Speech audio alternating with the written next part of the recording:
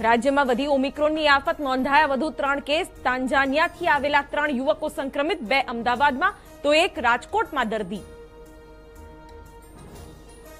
રાજ્યમાં કોરોનાની રફતાર યથાવત. આજે વધુ એકાવન દર્દીઓ થયા સંક્રમિત, તો પંચાવન દર્દીઓ થયા સાજા. હવે પાંચસો એકોતેર active case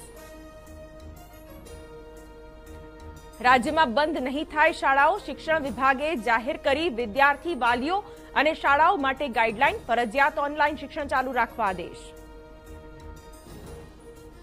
head clerk paper leak કેસમાં સાણંદ પ્રિન્ટિંગ પ્રેસના હેડની ધરપકડ, આરોપી કિશોર આચાર્યએ નવ લાખમાં મંગેશને વેચ્યું હતું પેપર, અત્યાર સુધી કુલ અગિયાર પકડાયા.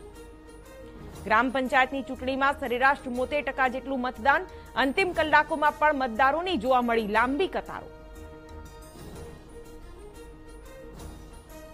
અમે બોલવા નહીં, કામ કરવા વાળા છીએ. કલોલમાં પાટીદાર સ્નેહમિલનમાં મુખ્યપ્રધાન ભૂપેન્દ્ર પટેલનું નિવેદન કહ્યું નવી સરકાર કરે છે, ઉત્તમ કામ.